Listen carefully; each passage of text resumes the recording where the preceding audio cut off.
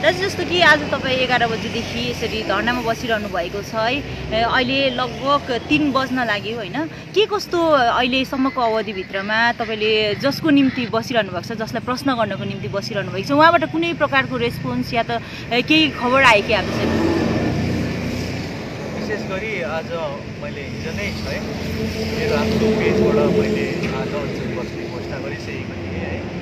र घोषणा गर्नुको पश्चात आज म मेरो समयअनुसार है एघार बजी आएर यहाँ मैले एक्लै आएर मैले एक व्यक्ति हो है म एउटा भोटर हो एउटा भोट जुन चाहिँ मैले दिएको छु सांसद राजीव विष्टजीलाई जुन चाहिँ त उहाँको सङ्कल्प पत्रमा लेखिएको दुईवटा जुन चाहिँ बुदाहरू थिए है त्यसले मलाई प्रभावित गरेर है एउटा आशा जागेर मैले भोट दिएको थिएँ। त्यो भोट दिनु पश्चात आजसम्म पाँच वर्ष बित्न लागिसक्दासम्म पनि कुनै प्रकारको निकास नपाएको गोर्खाहरूले जब निकास नपाएको जब गोर्खाहरूले देख्दाखेरि चाहिँ है आज म यहाँ बाध्य भएर बस्नु परेको हो। मैले राजु विष्टजीलाई पहिला पनि पत्रचार गरेर उहाँलाई भनेको थिएँ है। सर यो जुन चाहिँ तपाईँको मुद्दाहरू छ यसमा के कति काम भएको छ जनता समक्ष तपाईँले खुलस्त गरिदिनुपर्छ भनेर मैले उहाँलाई लेटर पनि लेखिएको थिएँ। तर कुनै पनि प्रकारले आजसम्म त्यसको रिप्लाई नआउँदाखेरि आज म बाध्य भएर है विन्टर सेसन्स कम्प्लिट भयो है। थियो हामीलाई बिजनेस जुन चाहिँ लिस्ट छ त्यसमा हाम्रो कुनै पनि आएन नामहरू। तर जुन चाहिँ प्रकारले हाम्रा सांसदजीले पनि भनिराख्नु भएको थियो कश्मीर जस्तो इस्युजहरूमा जब काम हुनसक्छ तिन तलाकमा काम हुनसक्छ भने गोर्खाहरूको पनि त्यसरी नै एउटा हुनसक्छ काम भनेर जुन चाहिँ भनेको थियो है त्यसलाई लिएर हामी एकदमै हेरिरहेका थियौँ दिल्लीतर्फ है तर हिजो जुन चाहिँ प्रकारले है एउटा सांसद सदन जुन चाहिँ छ हौ त्यो स्थगित भएको छ है र त्यो हुनुको पश्चात अब हाम्रोमा म जुन चाहिँ छ बजेट सेसन मात्रै रह्यो र मार्चमा सायद दुई तिन दिनको निम्ति यो विन्टर सेसन्सको जुन चाहिँ क्रियाकलापहरू छ त्यो चल्न सक्छ भन्ने एउटा जुन चाहिँ प्रकारले हामीले न्युज मिडिया मार्फतहरूबाट सुनिरहेका छौँ। त्यस पश्चात मलाई जहाँ लाग्यो कि आज राजु विष्टजीमाथि मैले प्रश्न गर्नुपर्छ। मेरो एउटा बहुमूल्य भोट मैले दिएको थिएँ। त्यो भोटको के गणना भयो? त्यसको निम्ति आज आएको थिएँ। र बिजेपीको तर्फबाट स्वयं राजु विष्टजीको अफिसबाट कुनै पनि प्रकारको अहिलेसम्म केही पनि मलाई आएको छैन। र बिजेपीका जुन चाहिँ जो विधायक हुनुहुन्छ श्री निरज जिम्बाजी उहाँ आज आउनुभयो है। मेरो कुशलता जान्नुभयो र उहाँले मलाई राजु विष्टजीको अफिसमै बसेर धर्ना गर्नुभयो भने राम्रो हुन्छ भनेर भन्नुहुँदै थियो। तर मैले यहाँ नै छाने। किन भन्दाखेरि यो एउटा पब्लिक प्लेस हो। यहाँनिर जुन चाहिँ प्रकारले मैले मेरो संवैधानिक हिसाबले एउटा प्रदर्शन गर्न सक्छु भनेर म यहाँ बसेको छु। र कुनै पनि प्रकारले अहिलेसम्म राजु विष्टजीको जस्तो कि योभन्दा अगाडि पनि जति बेला विन्टर सेसन स्टार्ट हुनुभन्दा अगाडि पनि तपाईँले एउटा पत्र उहाँलाई बुझाउनु भएको थियो है। उहाँलाई अघि आएर जति पनि उहाँले अहिलेसम्म गर्नुभएको कामहरू के कस्तो छ त्यो चाहिँ जनताको अगाडि राखिदिनुहोस् भनेर तपाईँले त्यस टाइम समयमा पनि बुझाउनु भएको थियो होइन। त्यसको पनि कुनै प्रकारको जुन जुन चाहिँ तपाईँले माग राख्नुभएको थियो त्यस पनि अब केही पनि भएन त्यो त्यो विषयमा पनि होइन। अहिले पनि तपाईँ जसरी धर्ना बसिरहनु भएको छ यसमा पनि के कतिको यो फ्रुटफुल हुन्छ भन्ने तपाईँलाई लागिरहेको छ? हेर्नुहोस् मेरो दायित्व है जुन चाहिँ छ र मेरो जुन चाहिँ एक प्रकारको मेरो यो नैतिकताले मलाई जुन चाहिँ दिएन घरमा बस्नु। हेर्नुहोस् यो मेरो एउटा पहल म त एउटा मान्छे त हो साधारण होइन? एउटा व्यक्ति हो साधारण। मैले यसलाई भोट दिएर एउटा उहाँलाई सा एउटा एक भोट दिएर मैले म जस्तै एक एकवटा भोट दिएर उहाँ सांसद त हुनुभयो। तर आजको दिनमा यो एक भोट दिनेको कदर कति छ? सांसदजीले आज त्यो व्याख्यान कसरी गर्छन् त्यो उहाँमाथि छोडिदिएँ मैले होइन? मेरो यो जुन चाहिँ आजको धर्ना या यो मेरो अनसन जुन चाहिँ छ हौ त्यो कतिको यसले फ्रुटफुलनेस ल्याउँछ या यसको इम्प्याक्ट कस्तो हुन्छ त्यो मलाई थाहा छैन र यो यस्तो हुनुपर्छ भनेर पनि मैले सोचेको छुइनँ। तर मेरो एउटा भोट र एक एकवटा यस्तो भोटहरू दिनेहरूको भोटरहरूको आवाज चाहिँ आज वर्षानाको बाहिरसम्म त नि सुनिँदैन भने संसदमा कसरी सुनिन्छ त्यो प्रश्न चाहिँ म राजु विष्टजीलाई तेर्साउँछु र उहाँको जुन चाहिँ अफिस छ उहाँलाई म एउटा लेटर दिन दिन आएको छु र उहाँको अफिसबाट कोही आएर लेटर थाप्नुहुन्छ भने राम्रो हो है पाँच बजीसम्म र लेटर थाप्नु हुँदैन भने पनि ठिकै छ।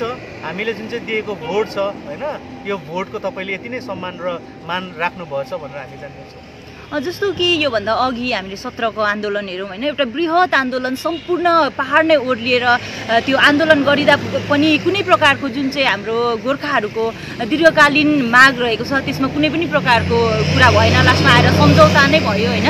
अहिले आएर तपाईँ एक्लै यसरी बसिरहनु भएको छ वीरेन्द्र रसाइली एक्लै छ होइन यसरी धर्नामा। सामूहिकतामा गर्नुभन्दा तपाईँ एक्लै गर्ने चाहिँ कसरी सोच्नुभयो? सामूहिकतामा अझ यो एफेक्टिभ हुने थियो या तपाईँलाई के लागिरहेको छ? तपाईँले एक्लैले गर्नुको कारण चाहिँ के हो? आजको दिनमा यो मैले गर्नुपर्ने हो या आजको दिनमा पोलिटिकल पार्टिजहरूले गर्नुपर्ने हो यो प्रश्न मैले उहाँहरूमाथि नै छोडिदिएँ। मेरो अघि नै भने त मेरो आफ्नो नैतिकताले म किनभने पोलिटिकल्ली आज यहाँनिर केही पनि कुरा राख्न आएको होइन। म मेरो हातमा किताब छ है। मैले यहाँनिर बाबा साहेब भीमराव अम्बेडकर राखेको छु। मसँग गान्धी महात्मा गान्धी हुनुहुन्छ। म मेरो माथिनिर एउटा भारत देशको झन्डा छ है। मैले झन्डा ओढेको छु र म संविधानको संविधानको दायराभित्र बसेर एउटा साधारण जनता जसले चाहिँ भोट दिए संवैधानिक हिसाबले आज म प्रश्न सोध्न आएको हो राजु विष्टजीलाई। विगतमा के भयो कसो भए होइन? यो सबै प्रश्नहरूको उत्तर दिनुभन्दा म एउटा कुरा भन्न चाहन्छु। मैले गर्ने दायित्व मैले दिएको भोट किनभने मलाई दिएको मैले जुन चाहिँ भोट दिएको थिएँ त्यति बेला मलाई सङ्कल्प पत्र देखाइएको थियो। त्यो सङ्कल्प पत्रमा लेखिएको थियो स्पष्ट रूपमा लेखिएको थियो एघार जात गोष्ठी र पर्मनेन्ट पोलिटिकल सल्युसनको लेखिएको थियो। यही दुईवटा कुरा आज पाँच वर्ष बितिसक्दा चाहिँ के भयो? मेरो प्रश्न मात्रै हो हाम्रो राजु विष्टजीलाई। जस्तो कि आजको पनि कुनै पनि प्रकारको उत्तर आएन। आज जुन चाहिँ तपाईँले माग गरिरहनु भएको छ होइन उहाँको अफिसबाट पनि यदि आएन भने तपाईँको अघिल्लो स्टेप के हुनेछ? अब पनि सांसद राजु विष्टको कुनै पनि प्रकारको प्रतिक्रिया आएन भने अघिल्लो स्टेप के के के योजना के बनाउनु भएको छ तपाईँले? हेर्नुहोस् आजसम्म मैले पन्ध्र अगस्त आउनभन्दा अगाडि पनि राजु विष्टजीलाई एउटा लेटर लेखेको थिएँ। उहाँलाई मैले त्यो लेटर चाहिँ हाम्रो प्रधानमन्त्रीको टेबलसम्म पुर्याइदिने मैले आह्वान गरेको थिएँ उहाँलाई है। त्यसको एक्नोलेजमेन्ट स्लिपधरि मैले अहिलेसम्म पाइनँ। पन्ध्र अगस्तको दिन उहाँलाई भनेको थिएँ गोर्खाहरूलाई पनि आफ्नो सम्भाषणमा राखिदिनु भने एउटा प्रधानमन्त्रीलाई निवेदन टक्राएको थिएँ। गोर्खाहरू पनि आज दिनमा हेलित छन् शोषित छन्। पीडित छन्। यी गोर्खाहरूको निम्ति पनि दुई शब्द आज प्रधानमन्त्रीको मुख मुखारबिन्दुबाट अगर निस्कियो भने त्यो हाम्रो निम्ति हाम्रो गोर्खाहरू असाध्यै नै हर्षित हुनेछन् भनेर मैले राजु विष्टजीलाई पत्रचार त्यति बेला पनि गरेको थिएँ। त्यति बेला पनि कुनै सुनवाई भएन। त्यस पश्चा पश्चात विन्टर सेसन्समा जब विन्टरको तपाईँको जुन चाहिँ बिजनेस बिल जति बेला भयो त्यति बेला पनि मैले उहाँलाई प्रश्न गरेको थिएँ। यो सबै सम्पूर्ण जिनिस जुन चाहिँ छ हो त्यसको लागि तपाईँले एकपल्ट प्रेस मिट गर्नुपर्छ भनेर। त्यसको पनि उत्तर आएन। सायद आजको पनि नआउनु सक्ला होइन? र आउँदैन भने पनि फेरि नेक्स्ट स्टेपमा वीरेन्द्र रसाइलीले के गर्छ? त्यो म अहिले तपाईँहरूलाई त सार्वजनिक हिसाबमा भन्न सक्दिनँ तर चुप लागेर चाहिँ बस्दैन वीरेन्द्र रसाइली किनभने वीरेन्द्र रसाइली एउटा आवाज यहाँ अहिले वीरेन्द्र रसाइली दिँदैछ हरेक एउटा युवाले वीरेन्द्र रसाइलीले हेरिरहेको छ र वीरेन्द्र रसाइली चुप लागेर बस्दैन। योभन्दा केही दिन अघि जति बेला तपाईँले राजीनामा दिइरहनु भएको थियो होइन पार्टीबाट राजीनामा दिँदा तपाईँले भनिरहनु भएको समग्र जति पनि नन पोलिटिकल सङ्घ संस्थाहरू छ युवाहरू छ उहाँहरूलाई लिएर उत्रिने उहाँहरूलाई लिएर जुन जुन प्रकारको हाम्रो राजनैतिक मागहरू छ सामाजिक क्रियाकलापहरू छ त्यो सम्पूर्ण गर्ने भनेर यहाँले बताइरहनु भएको थियो होइन? अबको के हुन्छ त? भविष्यमा हामीले वीरेन्द्र रसाइलीलाई सामाजिक सङ्घ संस्थाहरूसँगै अथवा युवा जमात लिएर यो माग उठाइरहेको देख्न पाउँछौँ या त के के हुनेछ त्यस्तो सम्भावना के छ? हेर्नुहोस् मैले पहिल्यै भनिहालेँ है डक्टर बाबा साहेब भीमराव अम्बेडकरले भन्नुभएको जुन चाहिँ एउटा लाइन छ शिक्षित बनाऊ सङ्गठित बनाऊ र सङ्घर्ष गरौँ भनेको छ क्या। हामीले पहिला चाहिँ हाम्रो जुन चाहिँ युवाहरू छ उहाँहरूलाई प्रोत्साहन गर्नुपर्छ। यसलाई नयाँ हिसाबले है हाम्रो इस्युजलाई नयाँ हिसाबले चाहिँ उहाँहरूको अगाडि राख्न सक्नुपर्छ। हाम्रोमा यो क्षमता हुनुपर्छ। पोलिटिकली पोलिटिकल पार्टिजले गर्छन् है। हामीले गर्नुपर्ने काम हाम्रो दायित्व हामी एउटा समाजमा बसेर गोर्खा जातिको निम्ति एउटा म एउटा अधिवक्ताको रूपमा मैले काम गरिरहेको छु भने एउटा शिक्षित जमातको आजको दिनमा के भूमिका हुनुपर्छ त हाम्रो युवाहरूलाई लिएर? हामीले उनीहरूलाई शिक्षित कसरी बनाउने हाम्रो इस्युजहरूको विषयमा हाम्रो इस्युज आजको दिनमा मर्नु नदिनुको निम्ति उनीहरूलाई शिक्षित कसरी बनाउने र शिक्षित बनाउनुको पश्चात उनीहरूलाई सङ्गठित कसरी गर्नुपर्ने एउटा प्लेटफर्ममा कसरी लिएर आउनुपर्ने सङ्गठन कसरी बनाउनु पर्ने सङ्गठित कसरी गर्नुपर्ने त्यसमा काम हुनुपर्छ र त्यसको बादमा चाहिँ सङ्घर्ष गर्नुको लागि हामी अगाडि बढ्नुपर्छ। यो लामो लामो भन्दा पनि लामो सङ्घर्ष हो हेर्नुहोस्। आज होइन भोलि होइन यसो यो जानेछ धेरै लामो सङ्घर्ष हो। अहिले नै सबै कुरा हुन्छ भन्नु साईले सक्दैन। जस्तो प्रकारले यहाँले भन्नुभयो है राजनैतिक पार्टीहरूले माग्नुपर्ने हो विशेष गरी राजनैतिक पार्टीहरू पनि अघि आउनुपर्ने हो तर राजनैतिक पार्टीहरू त विभिन्न रूपमा फुटेका छन् होइन? आफ्नो आफ्नो पार्टी बचाउने अभियानमा हुनुहुन्छ उहाँहरूको त आफ्नो पार्टी छँदैछ। तर जस्तो प्रकारले सामाजिक सङ्घ संस्थाहरू छ तपाईँ पनि एकजना नन पोलिटिकल्ली रूपमा नै आफ्नो व्यक्तिगत रूपमा नै अहिले काम गरिरहनु भएको छ होइन?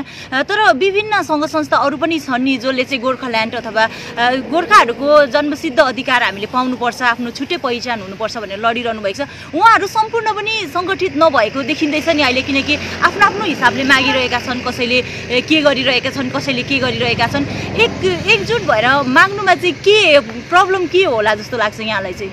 हेर्नुहोस् आजको दिनमा तपाईँको अतुल्य गोर्खा पिता है सुभाष घिसिङज्यूले एक समयमा भन्नुभएको थियो है पार्टीभन्दा जाति ठुलो है जातिभन्दा माटो अब यो पार्टीभन्दा जाति ठुलो जातिभन्दा माटो भनिसकेपछि होइन?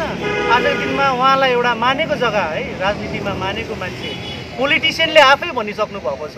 यति दिग्गज पोलिटिसियनले आफै भनिसक्नु भएको छ कि पार्टीभन्दा चाहिँ जहिले पनि जाति ठुलो हुन्छ होइन? र यो जाति ठुलो जब भएपछि हामीले जातिको निम्ति काम गर्नु हो भने पार्टीदेखि माथि उठेर गर्नुपर्छ। र हामीले पार्टीहरूमाथि भरोसा गर्नु छोड्नुपर्छ अब। भर गर्नु छोड्नुपर्छ। यो जाति जातिको मुद्दाहरू जति जति बेला आउँछ त्यति बेला सङ्गठित हुनुपर्छ पार्टीको ब्यानर छोड्नुपर्छ फ्ल्याग छोड्नुपर्छ पोस्ट छोड्नुपर्छ त्यहाँबाट अगाडि आएर बढ्यो भने मात्रै सायद मलाई लाग्छ जातीय मुद्दामा हामीले के गर्न सक्छौँ? र सङ्गठनहरू आउँछन् नि समय लाग्छ। आज मैले भने भोलि आउनुपर्छ भन्ने छैन नि। उहाँहरूले पनि बुझौँ न। मेरो पनि त बुझ्नु पऱ्यो नि त। यो मान्छेले त केही प्रोपोगेन्डा लिएर त आएको होइन। यो मान्छेको विचार त अर्कै छैन। कुर्सी त ताकेको होइन यो मान्छेले। धेरै प्रकारको प्रश्नहरू हुनसक्छ नि त। ममा ममाथि पनि त। मलाई पनि त एक्जामिन गर्नु पऱ्यो मलाई पनि त कटघरामा राख्नु पऱ्यो म पनि त क्रिटिसाइज हुनु पऱ्यो यो सम्पूर्ण जिनिस हुनुको बादमा त्यसको बादमा चाहिँ म आएर उहाँहरूले मलाई सङ्घर्ष एउटा सङ्घर्षमा उहाँहरूले राख्छ जस्तो मलाई लाग्छ। अन्त्यमा है जतिजनाले पनि हेरिरहनु भएको छ जस जसको निम्ति जति पनि भोटर्सहरू हुनुहुन्छ उहाँहरू समस्तको लागि नै तपाईँ यसरी आज आउनुभएको छ यसरी मैदानमा हुनुहुन्छ होइन? तपाईँ एक्लै धर्ना दिइरहनु भएको छ उहाँहरू समस्तले जस जसले अहिले हेरिरहनु भएको छ उहाँहरू सम्पूर्णलाई के भन्न चाहनुहुन्छ? सम्पूर्णलाई हेर्नुहोस् हामी ढिलो भइसक्यौँ है? एकदमै ढिलो भइसक्यौँ। जाति एकदमै सङ्कटमा छ।